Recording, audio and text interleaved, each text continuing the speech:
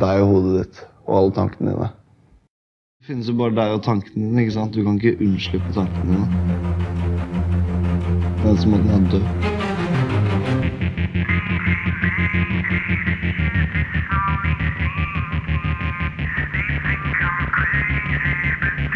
død.